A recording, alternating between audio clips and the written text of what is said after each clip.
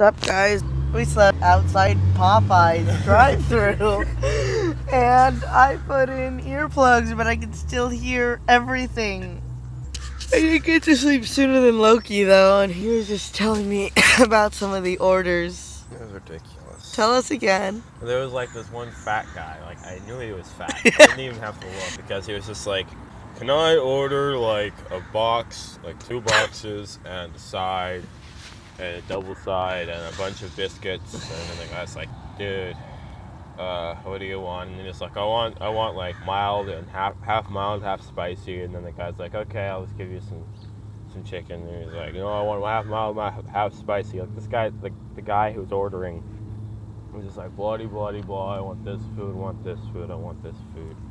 And then like the um, guy who's the, the guy in the thing is just like uh he's just like so tired. And there were some really loud people. Like is- there were a lot of really loud women ordering ordering food. They're like, "Yeah, uh, can I get blah blah blah blah blah blah blah." I was glad when I heard the decisive people who already knew what they wanted. Yeah. They were just like, yeah, I want this and this and this. Okay, and that's it. And then there's like these people who are like, hmm, do you have the box? Do you? What do you think about jalapenos? What is a jalapeno? What is a jalapeno? oh, it's just a jalapeno pepper. Oh, it's just the pepper. Oh, it's just the pepper. Yeah, I heard that one. Uh, you were telling uh, you were telling me about the potato wedges lady. And the potato wedges. There were there were two of them. There was one when I was awake and one when I was When asleep. you, when you were when she was asleep and basically it was just like just, she wasn't really speaking very loud at first. She was like, "Do you have any potato wedges?" But apparently loud enough for us to hear since we're right by the drive-through. Her voice was really shrill. Do you have any potato wedges? And the guy's like, uh, "No, ma'am, I can barely hear you. Would, would you please, would you please speak again?" And he's like, "Do you have any potato wedges?" And he's like, "No, ma'am, we do not sell potato wedges here. We do have uh, mashed potatoes and blah blah blah." She's like, "Ah!"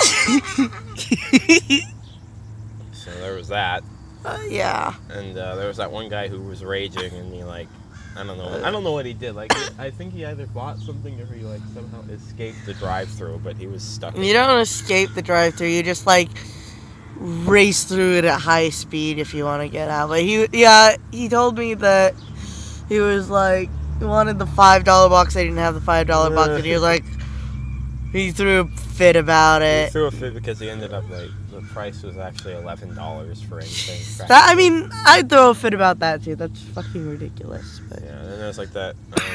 Um, ugh, there's so many people ordering coleslaw. It's disgusting. uh, Loki asked me, "What's coleslaw made ag- made of again?" And I was like, "Cabbage, mayonnaise." I don't know if the actual sauce is made out of mayonnaise. Well, it's fucking disgusting. That's my point. It is. I hate coleslaw. That's like one of the things we agree on is we both hate coleslaw. Coleslaw should be weaponized. That's how disgusting it is. How to enjoy coleslaw. Step one: throw it at a passing car. Step two, launch that out of a plane on a bunch of unarmed civilians. Step three: question mark. Step four: profit. Step five, sell it to ISIS. They could probably use it better than we do. Remember that conversation that I had with Michaela when she's like, oh, "I'm afraid to fly, blah blah, Yeah. And I can't take the Greyhound, blah blah." Well, I don't know. Somehow she got on her magic teleporter and teleported to New York yesterday. I wish your plane got bombed with coleslaw. Yeah, since you say coleslaw, it's funny. The, the level of double-faced bullshit. You know what I mean? It must have been a teleporter. You know.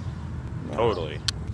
So, you know, Sareniti, anyway, she and I are buddies on Facebook now. Um, she's part Native American and she posts stuff about her Native American heritage. And you know, you know how I feel about people going on other people's statuses and talking crap. I mean, unless it's one of the Winch Boys on Facebook. Sareniti posts that thing about how the European migrant genocide was larger than that of Nazi Germany. And then Michaela's like, You're the only one that posts this crap. So, and I went and I posted this long ass list of reasons why she's wrong. Um, partially in her not being the only one who posts it, and especially since someone reposted it from me about why it's rude to call someone else's post crap, and also why Sareniti has the right to complain, right? And so Michaela, she just throws this tantrum about it. She says, I studied history. I think I know enough. And I'm like, well, see, thinking you know enough about anything is really the basis for ignorance now. And I was really tempted to ask her, was the version of history you studied the kind where patriotism is more important than the truth? Because I studied in college that actually, yes, did tell us the crap that the European settlers did to the natives. She's like, well, I'm American, that's my heritage. And I'm like, uh, yeah. My ancestors were actually involved in the founding of America, as I've stated several times. And even if they weren't, you would still be wrong. You should go eat a mayonnaise slathered cabbage coleslaw. Wait, a band aid slathered coleslaw? You should go eat a mayonnaise slathered cabbage. Eh, nobody defended me when someone jumped on me about posting about my heritage. I'm like, well, it's because you're posting bigoted crap. You know, Sareniti's, you know, as a Native American, she's posting a native going, the fuck is wrong with you people? You destroyed a bunch of my people and that's not cool. Here's a meme about it. Some people, they don't like the truth, but meanwhile, the stuff that Michaela's posting is basically like Confederate pride and all that, which it's kind of a mixed bag. Opinions are mixed on whether or not that's actually bigoted, because some people have pointed out that they're literally comparing themselves with Nazis now. And some people are like, oh, it's not bigoted. It's like, that's like trying to ban any other kind of flag and blah, blah, blah. And me, I'm kind of just over here going, well, I don't care. kind of indifferent to the Confederates. You know, I don't really, I don't really see them as good or bad. I just kind of see them as there. There's there's some organizations that are completely like that, where they are white supremacist Nazi people and, and Confederate, but the whole Confederate thing itself isn't really. Well, the historical a- aspect of it is the entire reason why they became Confederates in the first place is because they felt like they were being lo- losing the rights to like their land and their slaves and all that stuff. But it's bigger. losing the li- losing the rights to their slaves, they could just go cry in the corner. I don't. yeah, yeah, that yeah. I'd have. I have no sympathy like, for that. It's it's evolved beyond the Civil War essentially, and that, that's really the thing that, that I like to focus on rather than the typical uh, thing. If I, if I focus on it at all, so, Right. You know. And so I- I, I, I get recognize that. it's bigger than that, Yeah. but at the, at the same time as any other you know particular group or movement or organization, they all have their downsides. They're skeletons in the closet. Yeah. But nobody's pure. Nobody's the, the the highest truth or whatever, the greatest. Loki is. I'm generally just sort of indifferent to the Confederate. I'm largely indifferent, but I'm also kind of wary. If someone has a Confederate flag as their profile picture and then they're posting bigoted things, I'm more likely to go, well, of course. And there was someone who shared my dead name who was posting something like that on the Target page, and I, and you know, Ask for Help had already taken their page down, and I was like, well, I am so glad that I fucking changed my name. If I shared it with bigots like you, you twat. I think that given some of the things that are associated with it, um, maybe they should choose a different symbol that reflects who they are now because as you say, they've evolved. Definitely. So they should choose a symbol that's more more indicative of who they are now rather than who they were then because that has some really awful connotation. For instance, the Nazis adopted the Buddhist symbol, and then the Buddhists stopped using it because they didn't want to be associated with that. Well, it wasn't just a Buddhist symbol. It was actually also a Viking symbol. It was actually Mhm. a Viking rune for like victory and stuff Mhm. like that. And nowadays, it's basically just a Viking rune for evil and torture and that that sort of fucked up thing. You know, like that thing you don't want to see. Like, Well, that's probably actually where the Germans got it from. But anyway, as I was saying, the Buddhists also used that. But then after the Nazis became famous for that symbol, they stopped using it because they didn't want to be associated with that negativity.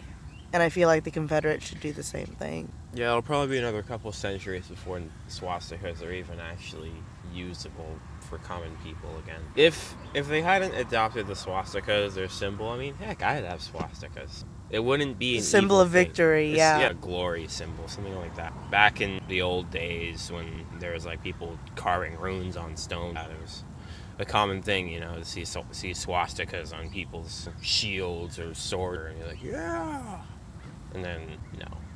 Yeah. So basically, that's that's my point. Eventually, all symbols lose meaning as time goes on, but we're not really at that point where time goes on. We're not at that point.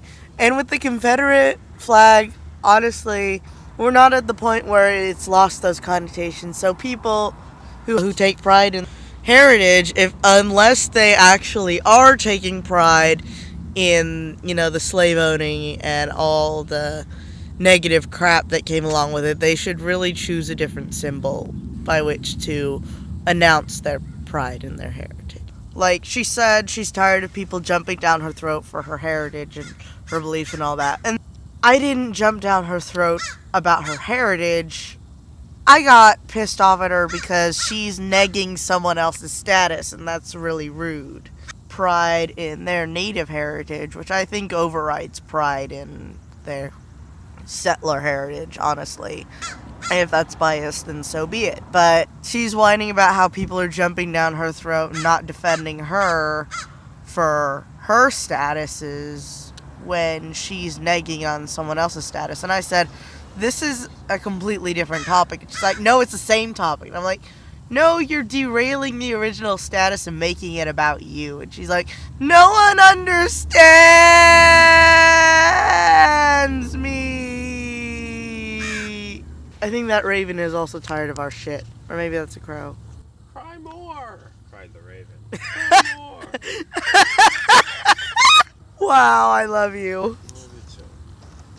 Hey everyone, somewhere between bored and just mentally exhausted. I've been trawling a site for those of you who read my blog, to get food because food banks closed on weekends. Uh, they'll ask personal questions right off the bat, or they'll, um, or they'll make it very, very clear that no, they have not actually read and paid attention to my profile, or maybe it's just because they're like me and they're going through everyone's profiles and then just liking everyone to see who likes them back, you know, and then messaging the ones that like them.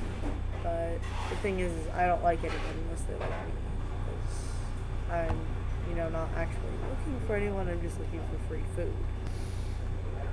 And then, or they'll act all affronted because, or surprised because, oh my god, you don't have a house, or oh my god, you don't have a car. Dude, I literally hitchhiked up here a week and a half ago. What kind of house do you expect me to have? What kind of car do you expect me to have? Use your brains, please. I can't believe how many people go on this site and don't have a brain to split between them.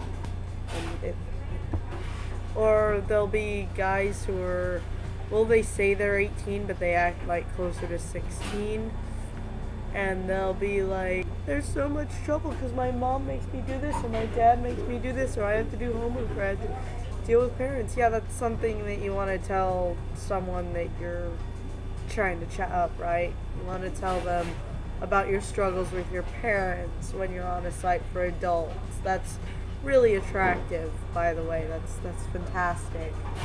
Meanwhile, I just don't give a fuck. I'm I'm I use the barest minimum of basic decency, and a lot of people are like, "Oh my god, you're so sweet, you're so nice," and I was complaining to Loki about that yesterday, and he said, "Uh, yeah, you're not nice to anyone except me and your friends," and I'm like, "I know, I'm not nice, and I am irritated at people thinking that that I am when they've known me for like a second when I sent when there's been maybe three messages in a conversation between us or when we're just been chatting about the weather or something like that. They're like oh my god you're so nice because everyone else insults me. That doesn't make me nice that just makes everyone else bigger assholes than i am. Seriously guys.